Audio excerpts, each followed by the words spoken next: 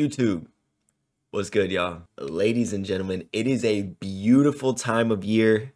Today, April 15th, it is currently 12:38 Eastern Time. We are 22 minutes away from the NBA playoffs. I'm going to be bringing you guys my pick'em bracket challenge. This is going to be my official NBA playoff bracket. Who I think is going to be the champion. And yeah, just my thoughts on a lot of these series. Listen, man, um, I know who I'm picking to win it all. I'm not going to spoil it yet. It's a very difficult decision. I don't know who I'm going to pick for some of these series. I know a lot of them. I know some of them are going to be a toss up. So we're just going to go into it. I'm going to give you guys my thoughts. And yeah, we'll just see how it rounds itself out in the end. So we'll start, I guess we'll just go top to bottom. So we'll start in the West here. We've got Denver and Minnesota. Now, Denver obviously holding on to the one seed. They tailed off a bit at the end of the year, and I think it's the reason that Joel Embiid will win the MVP. Uh, if I'm wrong about that, then I'm wrong about that. But it felt like after Denver kind of locked up the one seed, they they took their foot off the gas pedal a little bit, and um, that's just not that's not good when you're going into the playoffs. I think you want to be playing your best basketball going into the playoffs. I don't think Denver is doing that. With all that being said, I'm obviously still gonna pick them in this series. I'm gonna go Denver in five. I think Minnesota can can win a game. Um, I don't think there'll be too many sweeps this year, bro. I mean, I think there's a couple possible ones, um, but I don't think there will be too many. I think there's a lot of like just really really good teams this year, and I think each team will be able to find a way to win at least one game. Moving on, we got Phoenix and the Clippers. This is, I feel like, quietly the most intriguing first round series in the entire playoffs. The headliner itself should be KD versus Kawhi because um, we've never really gotten that, and these guys are two incredible players, all time greats. But there's just other, there's just so many other storylines too, bro. You've got KD versus Russ. You've got Chris Paul versus the Clippers. I just think it's going to be a really fun series.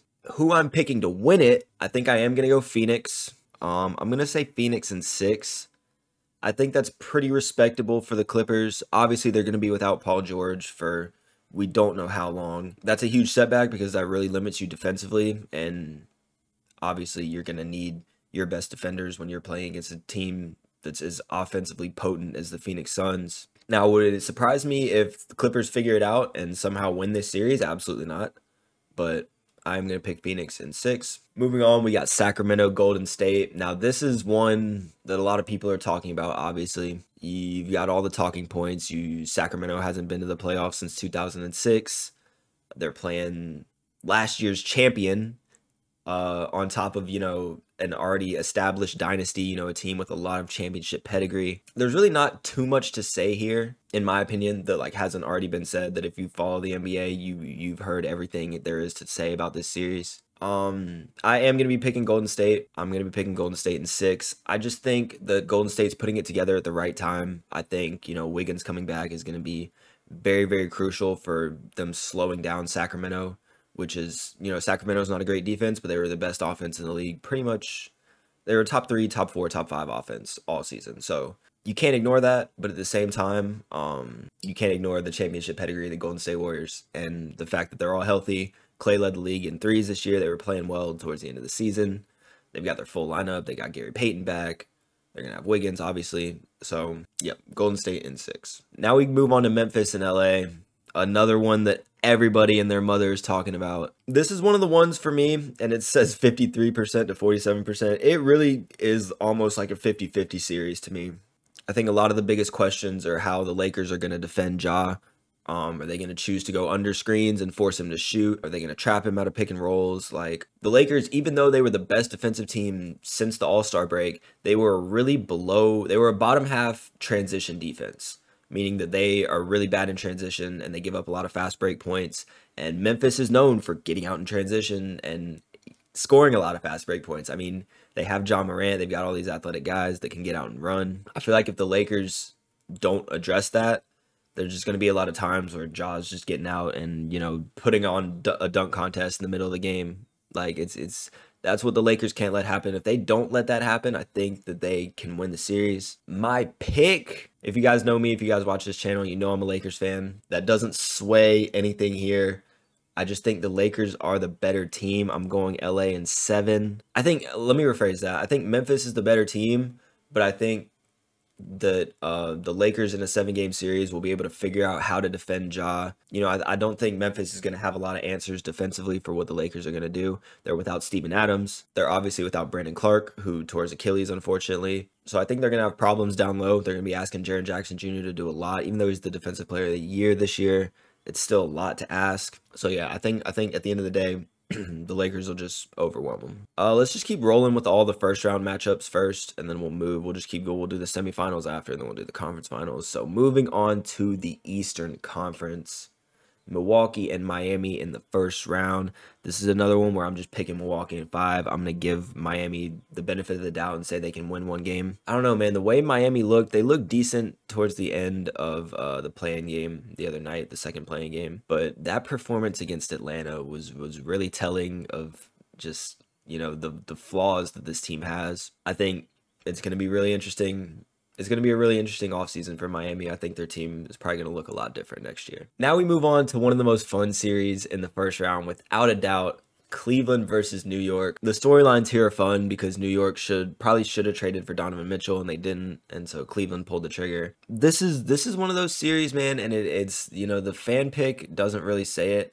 The fan pick actually thinks Lakers and Memphis will be closer. I think this series is one of the most toss up 50-50 series that there has been maybe in NBA history, man. I really I know who I'm gonna pick, and I just think it's because their their front line of talent is better. I'm gonna I'm gonna pick the Cavs in seven. I think that their fir- their front line like four best guys are four of like the probably the top six players in this in this series. And while New York has two of those top six guys, they probably have the rest of the top seven or eight. But I think that those top four guys are really going to matter for Cleveland. I don't know if that made any sense. If you know what I'm talking about, that made sense. But this is going to be a really, really good series, bro. It's going to be a fun series. Two not really fast paced teams, two teams that don't really score the ball that much and, you know, like to dig in defensively. So it's definitely going to be interesting and probably the most fun watch in the first round, in my opinion. Philly versus Brooklyn. Um, not much to talk about here. This is going to be another gentleman's sweep for me. I'll give Brooklyn the benefit of the doubt and say they can win one game. Brooklyn obviously is only here because KD and Kyrie were on this team for half of the season. And that's not to discredit anything that Mikal Bridges has done. Spencer Dinwiddie's been solid. Nick Claxton's still been doing his thing, but they just they just don't have the firepower to um even have a chance in this series. To me, they would have to do some. I was talking about it with my buddy the other day. They would have to just do something crazy. Like they're gonna have to shoot a lot of threes and just hope that they're hitting at like an insane clip. Like I'm talking like 50 or 60 threes a game just putting them up and hoping that they're going down. Defending Embiid is going to be a task because Nicholas Claxton is just gonna uh, he's Embiid's gonna use him like a toothpick, man. It, it's gonna be bad. Yeah, I don't see a lot of avenues Brooklyn can go. It's gonna have to be something crazy. And the final series of the first round, Boston versus Atlanta. Again, another gentleman's sweep in Boston's favor. This is probably the one series in the first round where I feel like it has the biggest chance to be a sweep in Boston's favor, obviously. I just think Boston, I just think a team that has small guards, which Atlanta has two of, and Trae and DeJounte. I think that's just a recipe for disaster when you're playing against Boston. That's it's the best matchup for them just in terms of what they can do defensively. I think Atlanta's really going to struggle, and I'm kind of just going to leave it at that because I'm from Atlanta, and it's tough to see the Hawks. It's tough to see what the Hawks did a couple of years ago and making it to the conference finals and just not having built on it at all. So I'm not going to talk about this series too much. All right, back to the top in the West with the second round matchup of Denver and Phoenix. Um, I don't know if this pick is going to surprise people at all. I'm taking Phoenix in six. I think, uh, just like I said earlier with Denver, the way that they just kind of fell apart at the end of the year, I think it's really telling. And I'm just kind of worried about them. Phoenix obviously didn't lose with KD in the lineup.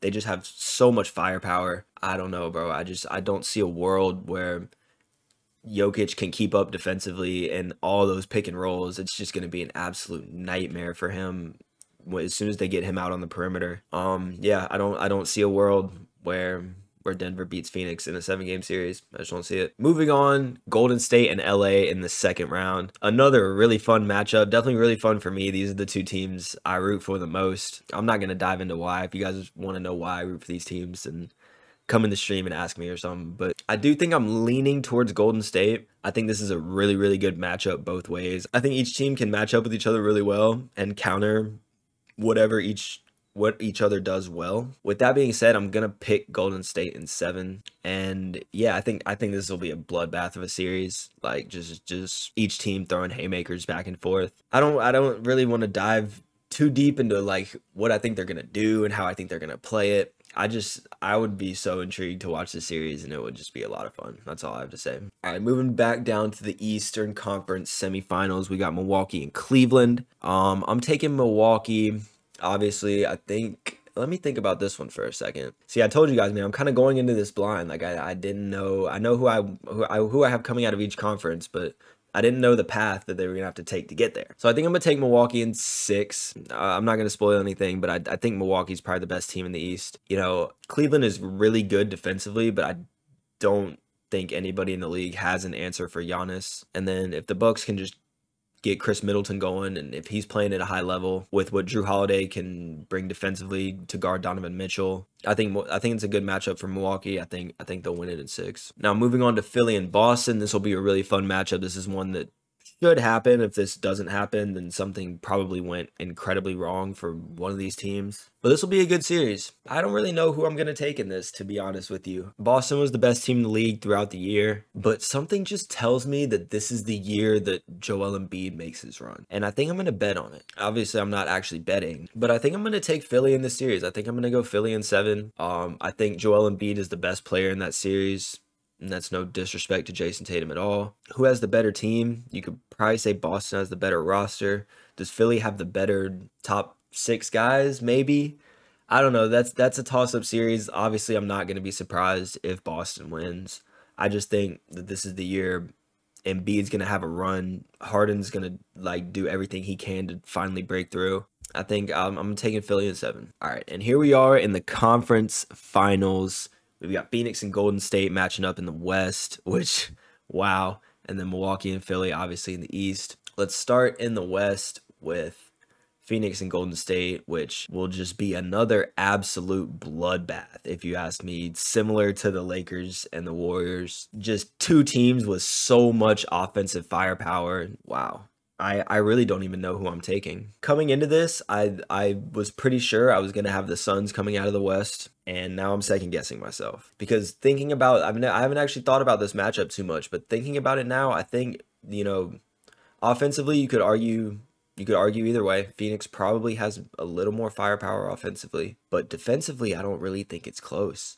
I think Golden State is much better defensively than Phoenix is going to be. I was telling one of my boys, I need this series so badly because the Draymond Green and Kevin Durant matchup will be so much fun. It'll just be so much fun, bro. And they're going to go at each other. They're two really competitive dudes. And you know, Draymond's going to do anything and everything he can to get under KD's skin. Oh, I need it in my life, man. I need it in my life. I need that matchup. But thinking about it, sitting here, I think I'm gonna pick Golden State. I'm gonna take Golden State in seven. I think even even though they're not gonna have home court advantage, I think that I think they'll be able to do more defensively. I think they'll be able to slow Phoenix down more than Phoenix will be able to slow them down. And I mean, you can talk about the championship pedigree all you want. Obviously, you're going to be going up against KD, who's got the same championship pedigree Chris Paul's been there, Booker's been there. This is going to be an incredibly, incredibly fun series, and I, I just, I hope it happens because I, I need it in my life and it can only happen in the Western Conference Finals. So I hope both these teams get there. I really do. And now moving down to Milwaukee and Philly.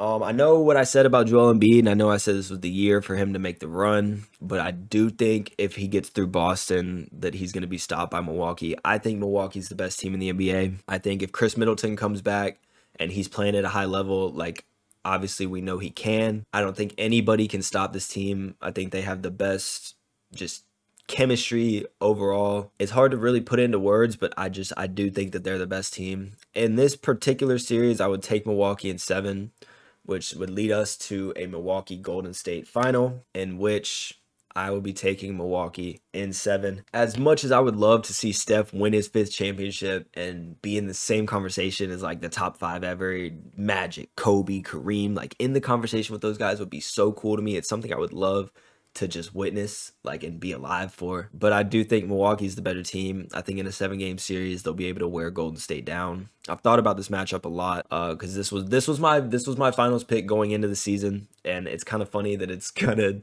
rolled out this way, even though I didn't know who I was gonna have going into this. Either way, the playoffs this year guys, we're in for a treat. I mean, it, it's going to be some of the best series in a long time. There's so many teams that could win the championship. I was telling my buddies, there are nine teams like on this board, nine of them, nine out of the 16, nine that I feel like could win the title this year, and I would not be surprised.